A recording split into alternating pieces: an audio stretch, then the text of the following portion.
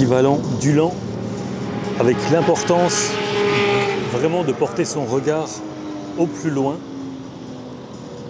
Le regard, toujours le regard, c'est vraiment le plus important en moto. Chez Ducati, l'approche est un petit peu différente, avec quelques ateliers. Il y a également des balades qui sont organisées autour du circuit. Bonjour et bienvenue sur Tascars, je vous donne rendez-vous aujourd'hui pour une toute nouvelle vidéo. Je suis, comme vous le voyez derrière moi, au Biker Festival sur le circuit de Spa-Francorchamps. C'est parti Chez Benelli, je suis avec Laurent, sales consultant Velux pour Moteo. Bonjour Laurent Bonjour. Alors est-ce que vous pourriez nous présenter les nouveautés ici chez Benelli? Oui, hein. donc ici chez Benelli, on va retrouver plusieurs véhicules. On va commencer par cette petite Tornado 125 donc, euh, à savoir que Benelli a une gamme euh, qui, va du 125 jusqu'au 700 cm3. Ici, on est sur la petite TNT, donc un petit roadster, euh, très très fun à conduire, très compact, donc qui peut servir comme second véhicule éventuellement ou pour les jeunes. On est sur un tarif d'à peine plus de 3000 euros pour cette, très chouette petite moto. Je vous le disais depuis plus de 15 ans, Ici, après, on va, on va pouvoir retrouver la gamme Leoncino qui est représentée ici par la Leoncino 500. c'est une gamme qui se décline du 125 jusqu'au 800 cm3 avec cet esprit naked un peu néo-rétro.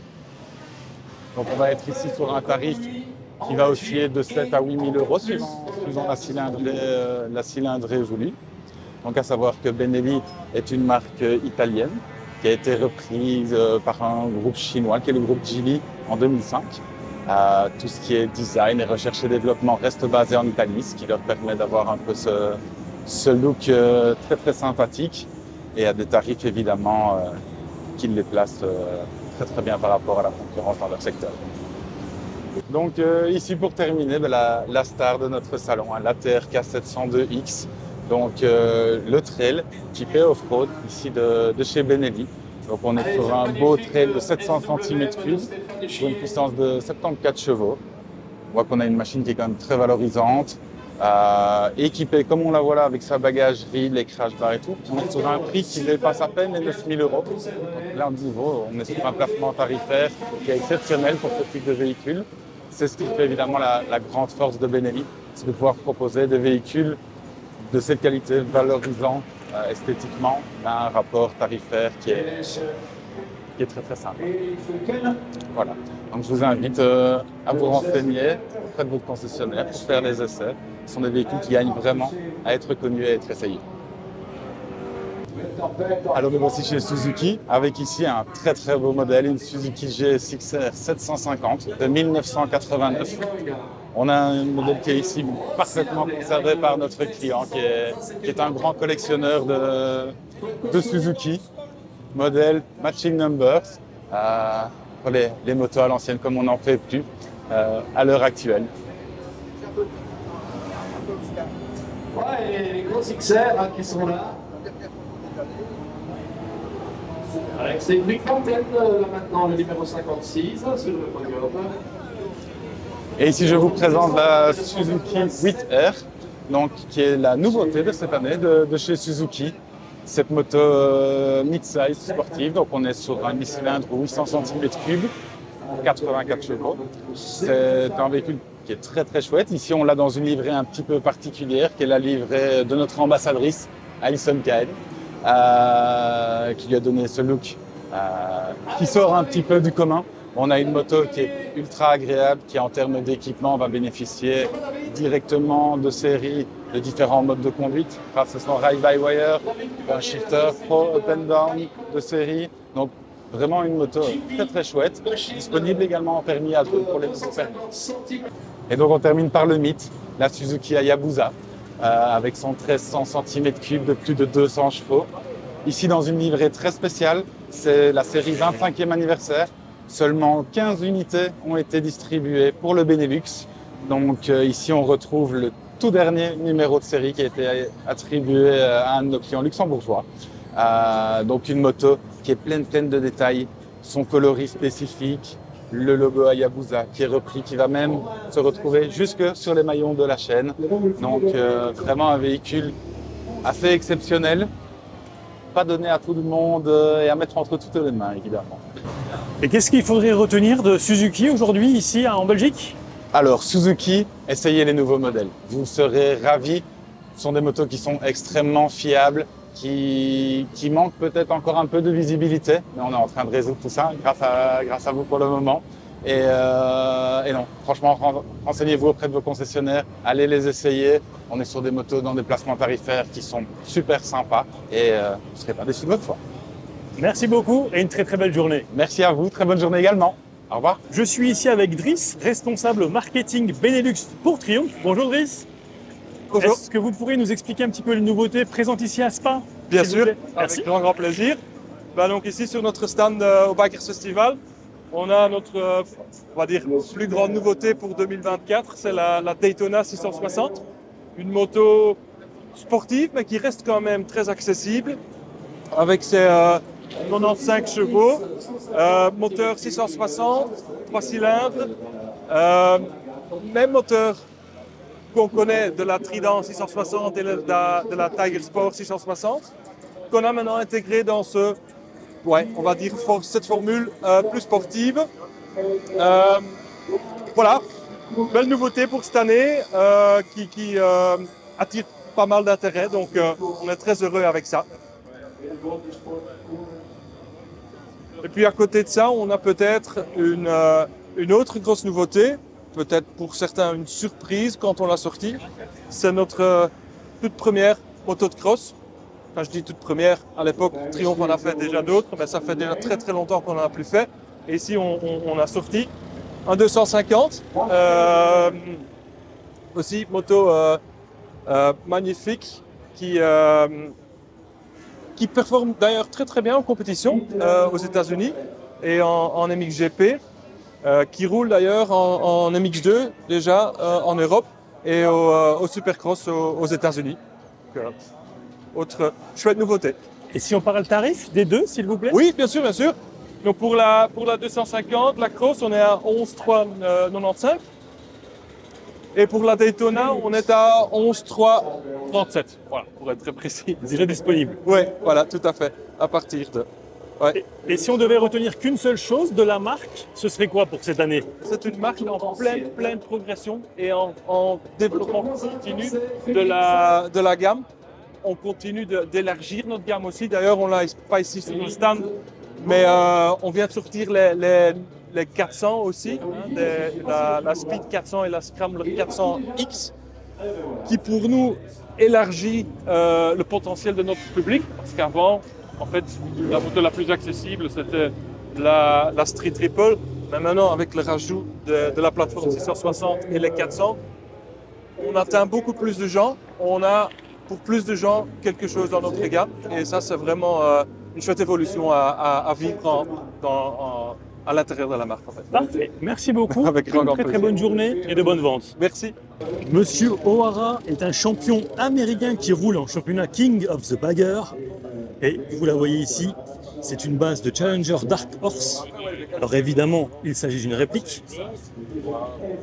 Et juste à côté, sur base de FTR 1200 Rally, vous avez ce qu'Indian appelle l'ATR 1200, couleur perso, ligne d'échappement MAD, qui est un préparateur néerlandais.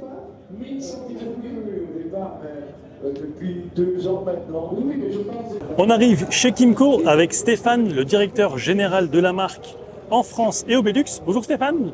Bonjour, Est-ce que vous pourriez nous présenter un petit peu les nouveautés ici à Spa, s'il vous plaît? Certainement nous sommes très heureux de présenter cette année euh, les deux grandes nouveautés de chez Kimco. Tout d'abord le Downtown GT 350 qui est notre euh, nouveau scooter euh, urbain taillé pour la ville avec une capacité d'emport accrue euh, qui est à 5999 euros, disponible en trois coloris, deux cylindrés, 350 cm3 pour faire du périurbain et 125 cm3 pour faire plutôt de la ville, avec un tout nouvel écran TFT, un keyless, un freinage ABS, un traction control d'origine sur les véhicules, capacité d'emport qui est le point fort de ce scooter et de deux casques intégraux sous la selle. Ensuite, l'autre point fort de l'année 2024, c'est ce nouveau Challenger dans la catégorie des scooters qui sont 125 cm3, très légers et qui sont destinés à une clientèle principalement urbaine. Nous sommes ici sur le Skyton 125 à 2999 euros où on a un scooter qui pèse 126 kg et euh, qui euh, produit une puissance de 11 chevaux. Donc c'est un concurrent parfait pour le NMAX et le PCX.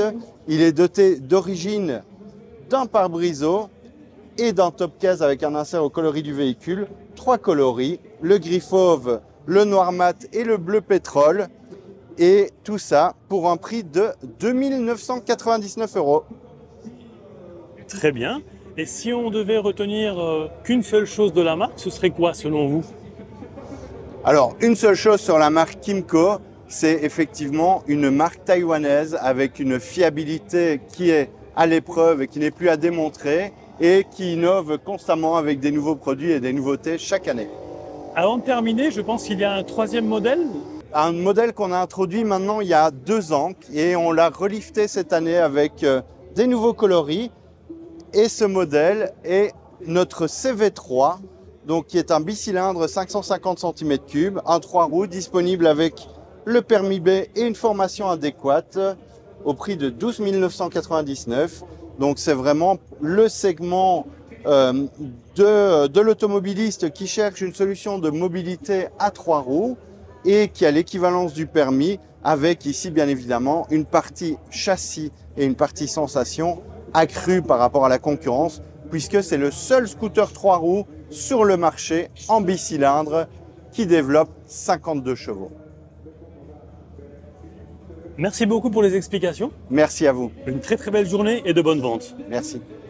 On arrive maintenant chez Alpine Star avec Fabrice, responsable commercial Belux et de l'Est de la France également. Bonjour Fabrice. Bonjour. Est-ce que vous pourriez nous présenter un petit peu les nouveautés 2024, s'il Oui, vous plaît? bien sûr. Je vais peut-être commencer par un petit mot d'introduction sur, la- sur la marque Alpine Star, qui est donc une marque italienne qui a été fondée en 1963 par euh, Gabriele Mazzarolo, le fondateur. La société est toujours familiale, qui est maintenant euh, donc toujours dans la famille Mazzarolo, et donc euh, était un, euh, un fabricant de chaussures à la base, d'où le nom Alpine Star, donc des chaussures de montagne. Puis par la suite, ils se sont liés d'amitié avec Roger de Coster. Ils ont commencé à, faire des bottes de motocross.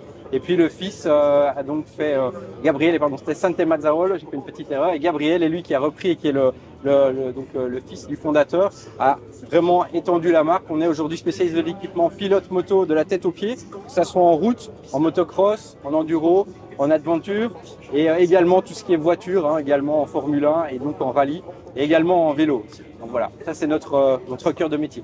Donc ici, on va peut-être euh, commencer par l'univers des, airbags, qui sont évidemment maintenant devenus euh, indispensables et qui sont les plus protecteurs lorsque l'on roule en moto. Donc Alpinstar a commencé le projet des airbags en 2001.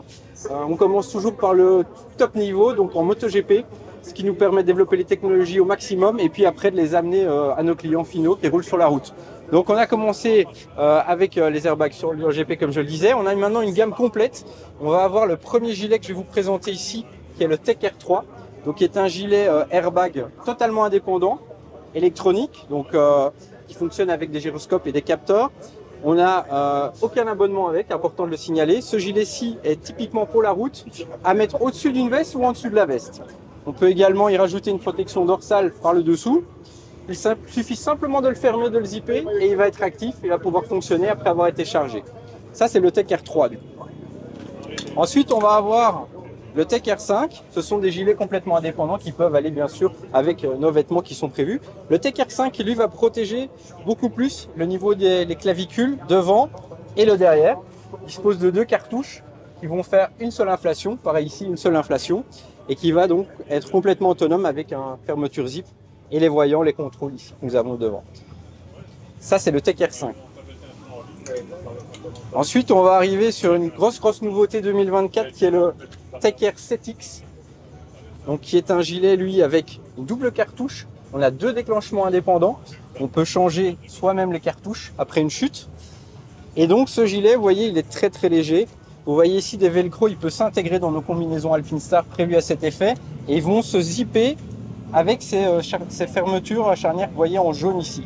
Si on les a pas, aucun souci, on a une fermeture centrale qui va permettre d'utiliser le gilet indépendamment dans n'importe quel combi. Et vous avez simplement à fermer ici et vous avez l'élément qui va faire connexion qui va nous montrer le niveau de charge.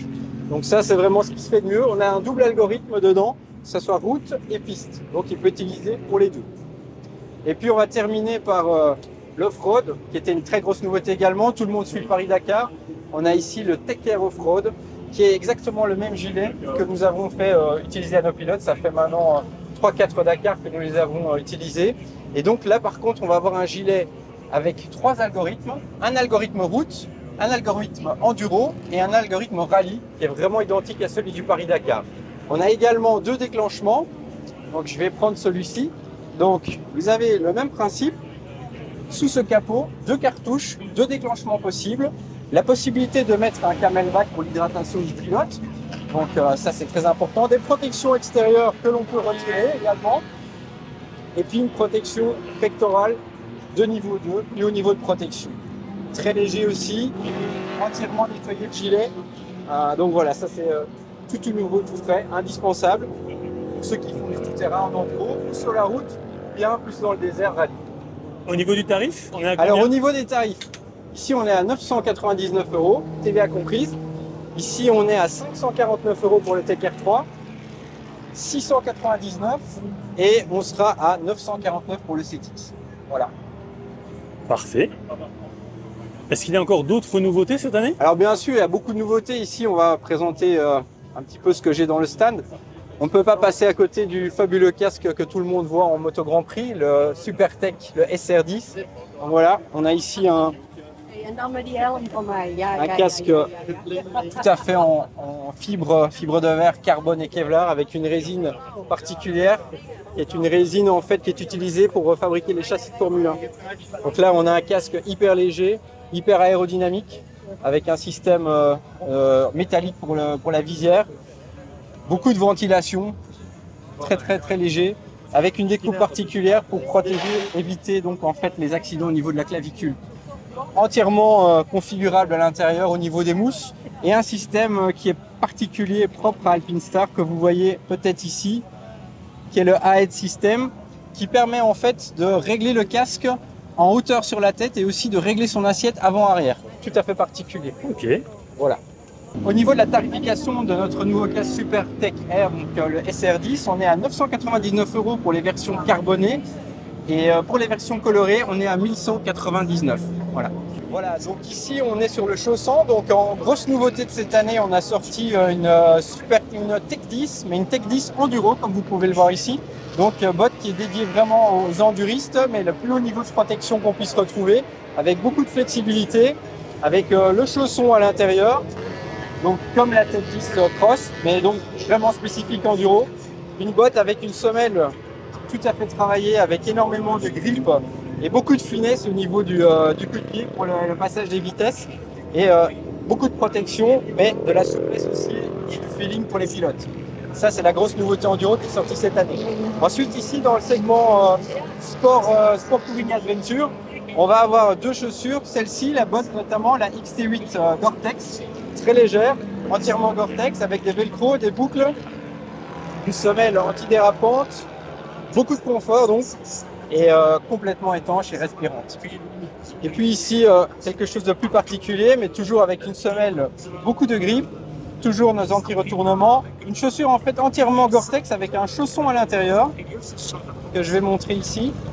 Voilà, chausson avec euh, les protections au niveau des malléoles, un système de lacet rapide, de serrage, donc chaussure tout à fait étanche, ultra légère, avec beaucoup de grippe, et qui va permettre de rouler dans les conditions les plus euh, compliquées, mais aussi de procurer énormément de confort de, marche. Voilà. Ceci, c'est la CRX. Alors, la Tech 10 Enduro est à 699 euros. Ensuite, ici, sur la CR8, on est à 219 euros, la Gore-Tex. Et la XT8, ici, 399 euros. Parfait. Merci. Merci à vous. Une très très belle journée. Également. Et de bonnes ventes. Merci. On arrive ici chez Harley avec Renaud, le responsable de la concession de Liège. Bonjour Renaud. Bonjour. Est-ce que vous pouvez nous expliquer un petit peu les nouveautés 2024 chez Harley, s'il vous plaît? Oui, bah, les, les, la grosse nouveauté cette année, c'est évidemment euh, la gamme Touring. Donc il, re, il, y a un renouveau avec le modèle Street Glide, ici à ma droite en noir, et le modèle euh, Road Glide ici en Whiskey Fire. Donc bah, nouveauté, pourquoi? On a revu une grosse partie de la copie euh, de ce qu'on avait précédemment. Euh, L'année passée, en 2023, on avait trois déclinaisons de ce modèle. Donc la version classique, la version spéciale et la version ST. Ici, plus qu'une seule version pour chacun de ces modèles-ci. Euh, chacun, donc euh, maintenant, est disponible en finition chrome ou noir. Différents coloris disponibles, évidemment. La grosse, grosse différence euh, aujourd'hui, c'est le moteur. Donc on passe d'une version 114 l'année passée, voire 117 sur certaines gammes, à une version 117 pour tout le monde. On a des améliorations au niveau de, du poids, au niveau du freinage, au niveau de la suspension.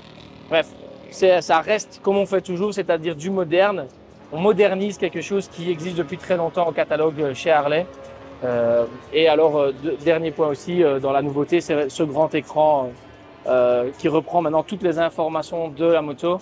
On n'a plus vraiment de, jauge à aiguille comme on pouvait encore l'avoir l'année passée tout se retrouve sur un grand écran, on peut modifier l'apparence, voilà. On se modernise encore et toujours tout en gardant l'aspect historique de la marque et les modèles, ce qui a fait le bonheur de la marque.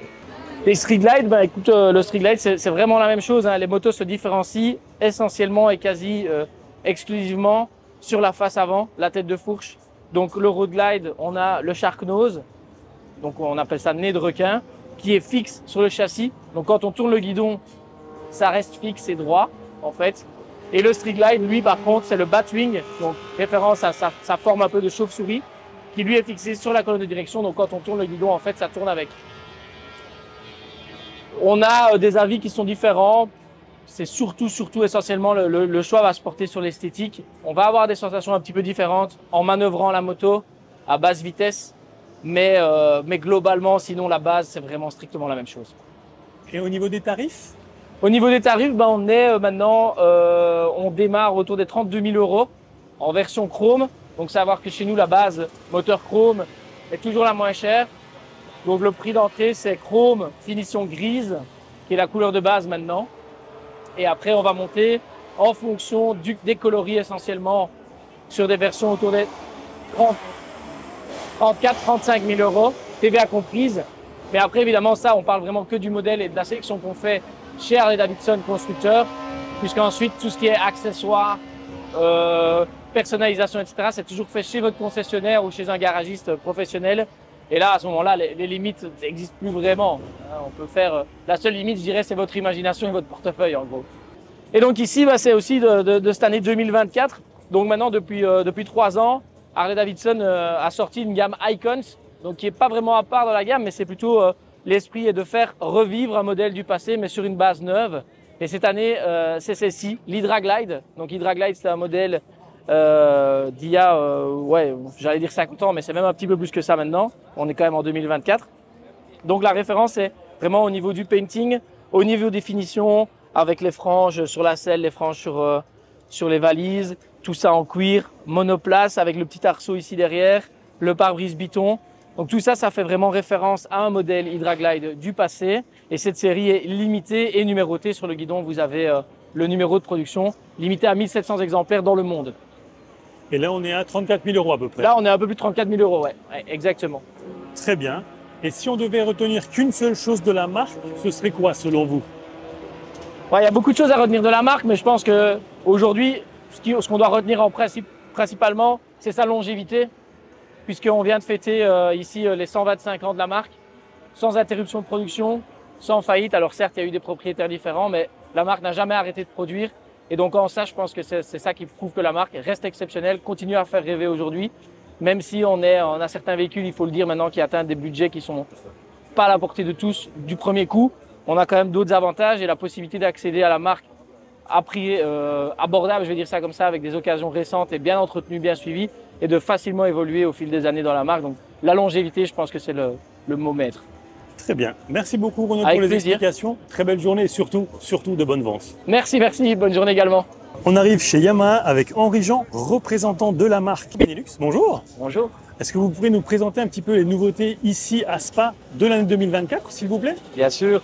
Donc, si on parle de nouveautés 2024, vraiment de cette année, on va commencer par l'MT9. Forcément, c'est notre euh, fait partie du groupement Hyper Naked chez nous euh, qui, euh, qui occupe le- la majorité des ventes en Europe.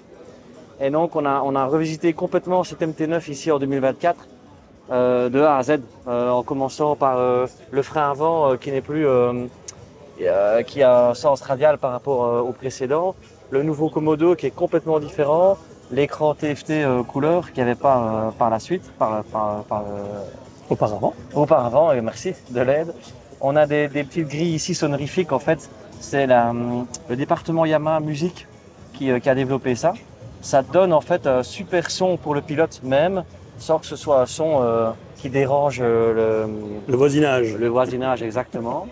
Au niveau du, des commodos, on a un clignotant, un clignoteur intelligent en fait qui, euh, qui clignote et qui s'arrête après 150 mètres. Donc ça c'est quand même plus agréable de ne pas devoir le retaper. euh. On a un shifter de quatrième génération qui est beaucoup plus souple et qui permet beaucoup plus de flexibilité euh, à bas régime euh, que, que le précédent qui était de troisième génération.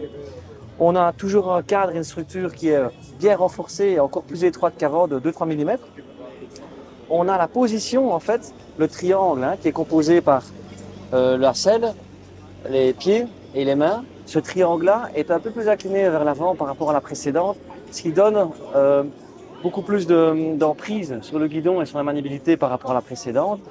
Les suspensions avant et arrière sont plus fermes, ont été retravaillées. Euh, et alors, vous avez des réglages, ce qui n'est pas sur la précédente. Ce qui permet, moi, à mon sens, euh, dans les accélérations, dans les freinages, beaucoup moins de petits mouvements. euh, c'est beaucoup plus stable, c'est beaucoup plus gai. On a des positions de pieds réglables qu'il n'y avait pas sur la précédente. Ça, c'est bien aussi pour les pilotes plus grands ou plus petits. Et on a une face avant qui a changé aussi. Ça, il faut le, il faut le remarquer. Et on est toujours donc sur un 3 cylindres qui atteint un couple maximum à 9500 tours minute. Ce qui permet de s'amuser sans devoir aller euh, vers des horizons euh, trop dangereux. Très bien. On a euh, cette version-ci qui est la version standard et la version SP en fait qui existe avec des modes de, con- de- des modes de conduite qui sont vraiment paramétrables pour aller sur circuit, vraiment pour les pilotes plus, plus expérimentés et des suspensions, euh, euh, des suspensions différentes avant et arrière sur la version SP. Très bien. Et alors au niveau de tout ce qui est aide de conduite, on, a, on est sur la centrale inertielle à 6 axes, IMU, qui capte donc les mouvements euh, de roulis, euh, mais aussi euh, de gauche à droite, qui va adapter ces sensations au niveau de différents capteurs comme la glisse sur l'angle, comme l'antipatinage, comme le freinage, et qui vous renvoie tout ça via trois, trois modes de conduite, qui est donc le street, euh, la pluie et le sport. Et euh, ces trois modes de, pilotage sont aussi paramétrables euh, en enlevant ou en mettant plus d'aide, c'est selon. Et donc on parlait des tarifs, la version standard est à 11 199 TVAC en Belgique et la version SP est à euh, 12 499. Donc on est à 12 1300 euros en plus pour des suspensions différentes, une esthétique aussi différente et un mode de conduite qui permet d'aller sur le circuit où on enlève complètement toutes les aides et on paramètre ça comme on veut via une, via une interface et une application euh, mobile. Voilà. Parfait, merci. On passe sur euh, celle qui est au fond? La XSR 900, ouais. Dans les nouveautés 2024, on a parlé de l'MT9 et on ne peut pas passer à côté de l'XSR 900 GP qui, euh, qui fait référence aux années historiques de Yamaha euh, il y a plusieurs dizaines d'années avec une moto qui est carénée mais qui reste une moto avec laquelle on prendra beaucoup de plaisir en allant et sur la route et sur circuit. Pourquoi? Parce qu'on a, des, on a des, une position euh, semi-sportive qui n'est pas tout à fait sportive, mais qui n'est pas non plus euh, urbaine. On a une position qui est un plus inclinée euh, vers l'avant, parce qu'on a, on a, on a, par rapport à une XSR 900 normale ou une, une MT9 par exemple, on est euh, 3 cm plus bas au niveau des, des positions, et on a un brancier qui est 6 cm plus long. Ce qui donne une moto beaucoup plus stable, et, euh, mais qui reste tout à fait dynamique. Euh, Alors on a des, on a vraiment, on a repris les couleurs vraiment euh, complètement historiques de Yamaha, le rouge, le blanc et le jaune euh, d'époque. On a quand même placé un écran TFT couleur comme sur l'MT9 et on en retrouve aussi le, le Komodo de l'MT9 avec le clignotant intelligent, euh, quelque chose qui est assez intuitif au niveau de- des mouvements quand on roule. Euh, et, toutes les aides automatiques en fait électroniques que l'MT9 reçoit.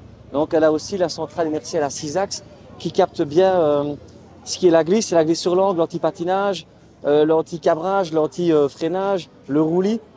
Et, toute cette centrale inertielle donne des informations à la moto qui se retrouvent dans les aides de conduite, puisque quand on paramètre les, différents modes de conduite, sportive, pluie, urbaine, on sait adapter cette moto-là en fonction du, de, ce qu'on veut en faire simplement. Mais et pour les amateurs, les passionnés et, euh, d'histoire, mais qui aiment aussi se faire plaisir sur un track c'est le compromis idéal. C'est notre millésime 2024. Et donc au niveau du tarif pour cette moto-ci, en Belgique, TVA, TVA comprise, on est à 13 699, ce qui reste à notre sens et euh, pour la vision de Yamaha, un tarif tout à fait abordable pour une moto qui est si bien équipée et qui fait référence surtout aux années historiques de Yamaha. Parfait. Merci beaucoup pour les explications. Merci aussi. Une très très bonne journée et de bonnes ventes. Eh ben merci. Chez KTM, je suis avec Thomas, responsable marketing Benelux. Bonjour Thomas. Bonjour. Alors, est-ce que tu pourrais nous présenter un petit peu la nouveauté de l'année ici, s'il te plaît, à Spa Alors ici, euh, bah, on a la chance euh, d'être à Spa euh, et surtout avec un, un beau temps, ce qui est plutôt rare euh, en Belgique.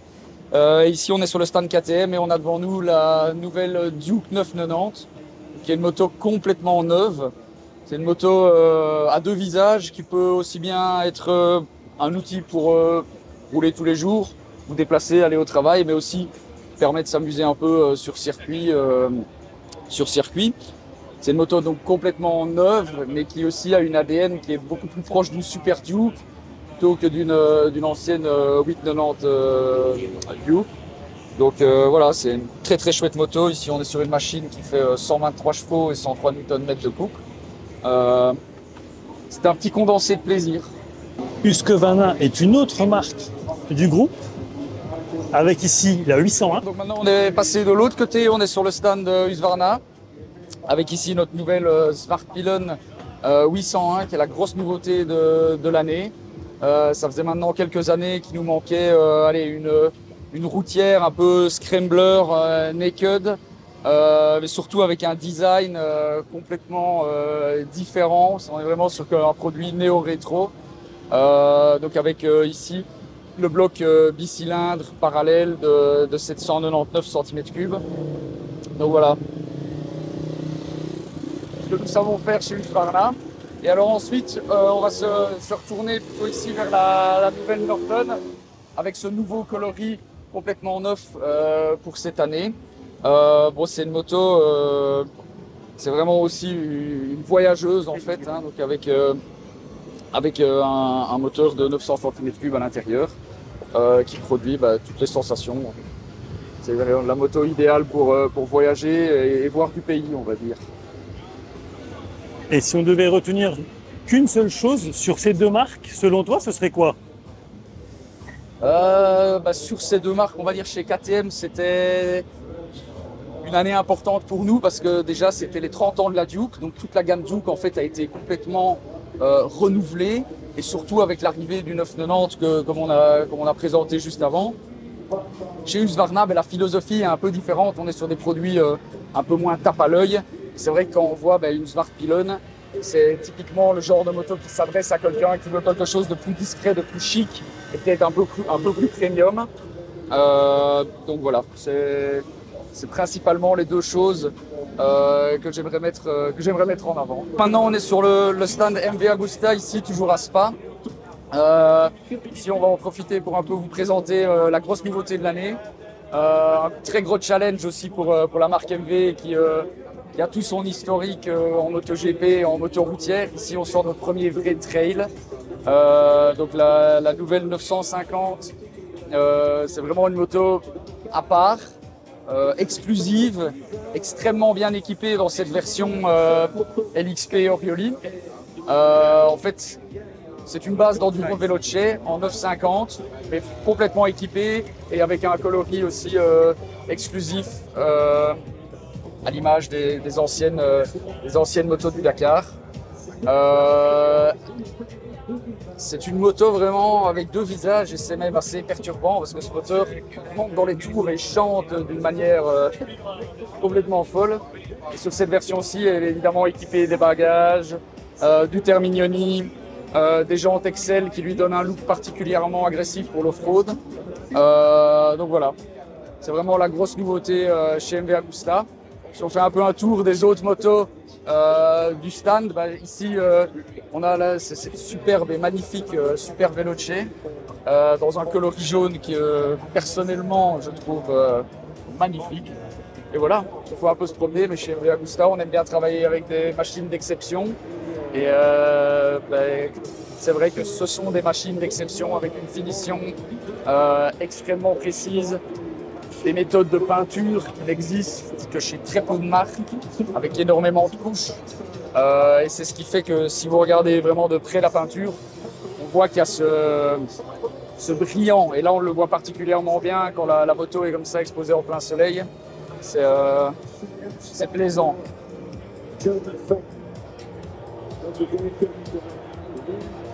Parfait. Merci beaucoup Ben de rien. et une très très bonne journée à toi. Merci. Ciao. C'est ça aussi, le Biker Festival. J'espère que la vidéo relative au Biker Festival vous aura plu. Un très très grand merci à DG Sport pour son invitation ici et l'accréditation naturellement. Et quant à moi, je vous dis à très vite pour de prochaines aventures en moto et moto. Ciao